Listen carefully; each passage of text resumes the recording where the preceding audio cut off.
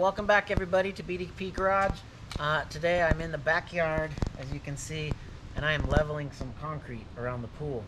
Um, this particular piece of concrete is just over five inches.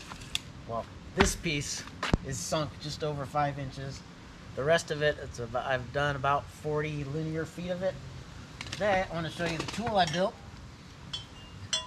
for fixing that and um, some of the benefits of why you'd use a tool like this and why I didn't just um, pay to have someone um, come slab jack it or um, do some of the other things. So one of the other alternatives to this tool is you could get a nice big pry bar, get get access underneath the slab, use this to pry it up, and then put some, um, have somebody else or a buddy put some blocks or shims or something in there to hold it in place after it's at the level you want.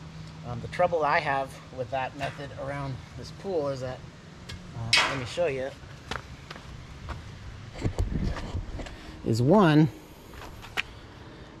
I don't, I have a fence all the way around the pool. It's a safety fence, and so I don't have real access to get this bar in there at the angle I need to.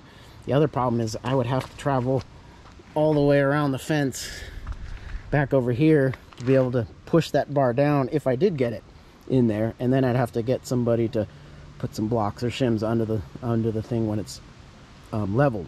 And so that's a lot of a lot of walking and a lot of hassle. So um, the other problem with that is that this bar although it's really strong it will press and this clay is pretty hard it will still press into that clay a lot. And so you end up having to do a bunch of shimming with um, some pieces of wood and I still have to do that a little bit but it ends up you know, a lot of back and forth and trial and error and trying to figure out um, how to get it up to the level that you want. And so um, that's the problem with the pry bar method. The other method that you could use is that you could excavate under the cement or actually to the side of the cement to get a bottle jack down in there and then you have to excavate underneath as well in order for it to get actually get under the concrete and so that's a lot of excavating especially in the summertime when it's hot and humid and you have as many linear feet to do as I do.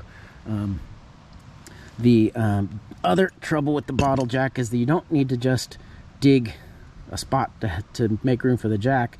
You have to dig an, an, area as well underneath the slab in order to put shims or bricks, just like the the pry bar method. Um, and you also have to uh, excavate out a little bit more out here in order to get access to the lifter valve and being able to loosen loosen the valve to drop the jack down when you're ready. So that's a lot of work and I've got um, 20 more feet to go uh, here. You can go up to right about there and I've got about here's about 20 feet. And I have already done all this area here. And so it's got I think it's about 60 feet depending on where you measure it from. So I've started right over here kind of where this deck drain is. And so you can see that would be a lot of digging. And I hate digging especially in this hard rock hard clay. So I'm gonna keep going. I've got this slab here to go and one two three four more sections after that. So let's see how that looks. So what's nice about the tool is that it is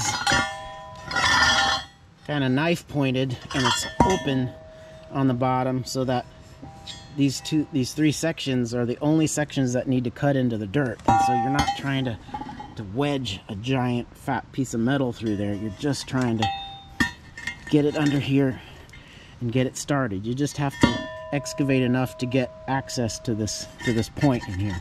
And so and then it's got a nice big fat half inch piece of steel on the back that you can slam on that with a sledgehammer and hammer it under the deck like that. So let's see how that goes so here we go.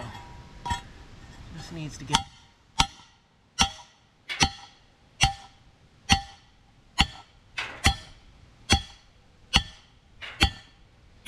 And that's it. That's it.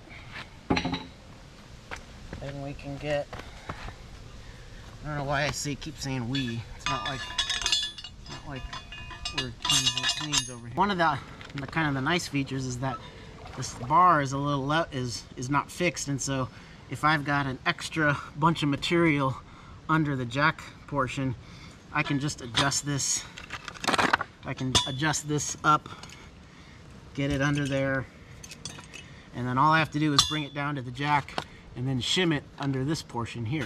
I've got uh, this little, um, it's really hacked up piece sleeve that goes over here and goes under the jack just to keep it keep it from falling off. You don't want this thing um, holding up a big piece of cement and then sliding off at the last minute. So um, we'll put a couple shims under here. The shims also kind of help prevent damage to the concrete if you're um, if you care about that. So. Okay, I put together a little 60 second montage of how this thing works. Um, essentially, get the jack under that backside. Um, I do have to dig, you know, sometimes you have to dig a little bit um, to get it to be able to fit under there and then get a little shim under the, the bar on the right side that's hitting the concrete. And you basically just keep um, lifting the jack until the uh, concrete goes up. Um, I did have to take a little bit of a, a, re, uh, a crowbar to kind of pry the two pieces of slabs apart so that they move against each other cleanly.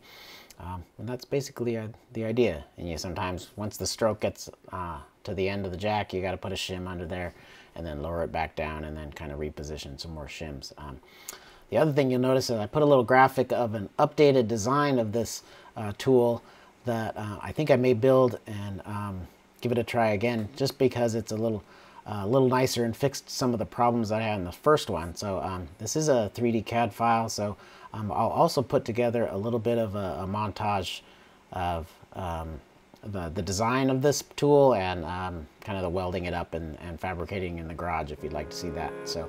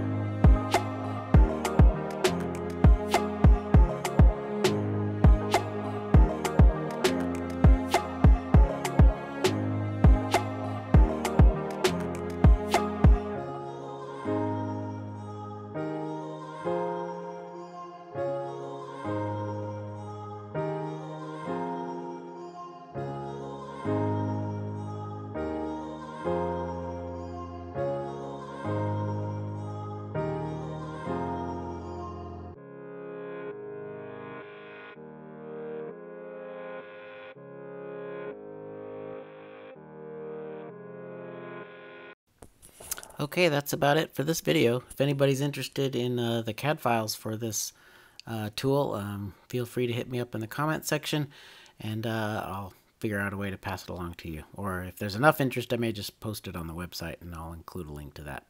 Um, but uh, anyway, that's all I got. See you for the next one.